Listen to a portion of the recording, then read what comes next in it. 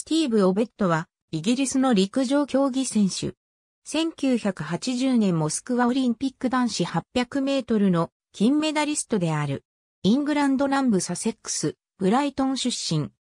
オベットは若い頃からその才能を発揮し、1973年のヨーロッパジュニアの800メートルで優勝。翌年のシニアのヨーロッパ選手権で2位に入る活躍を見せる。国内では1974年から1976年の800メートル、1979年の1500メートル、1980年の1マイルのチャンピオンである。1976年モントリオールオリンピックでオリンピック初出場。800メートルに出場するものの5位に終わっている。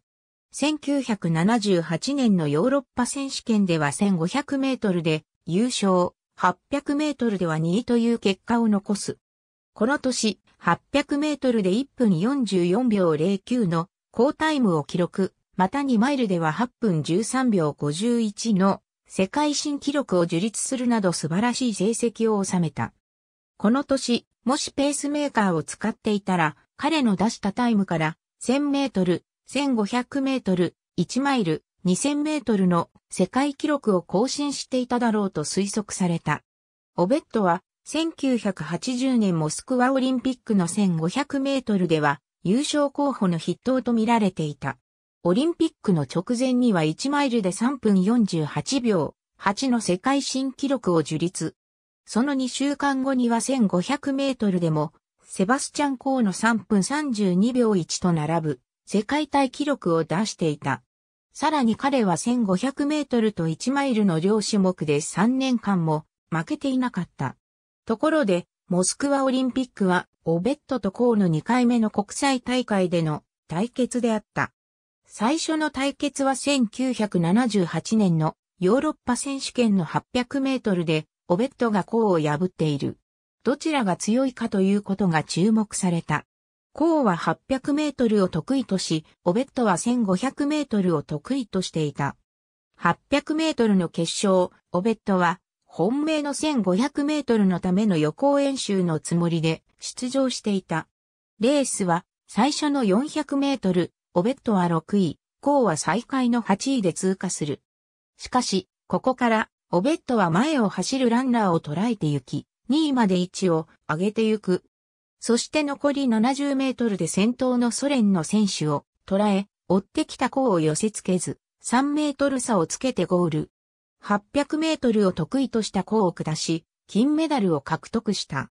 6日後に行われた1500メートルの決勝、オベットが得意種目であったが、勝ったのは800メートルを得意としたコーの方であった。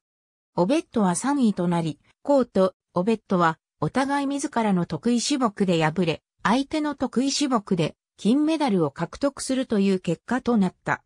モスクワオリンピックの直後、オベットは1500メートルで3分31秒36の世界新記録を樹立する。一度は世界記録を破られたものの、1983年にはさらに3分30秒77と再度世界新記録を達成した。オベットは1984年ロサンゼルスオリンピックで800メートルの連覇がかかっていた。しかし、機関支援を患っておりかろうじて決勝へ進出するも8位という結果に終わった。しかしレースの後、彼は倒れてしまい2番も病院で過ごすこととなる。しかしオベットは1500メートルにも出場する。レースは残り400メートルまで彼は4位につけていたものの、胸の痛みのため倒れてしまい途中危険という結果となった。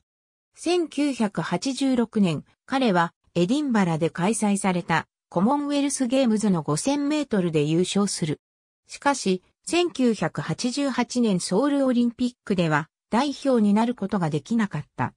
その後、ライバルであったセバスチャンコーが引退した翌年の1991年に引退した。ありがとうございます。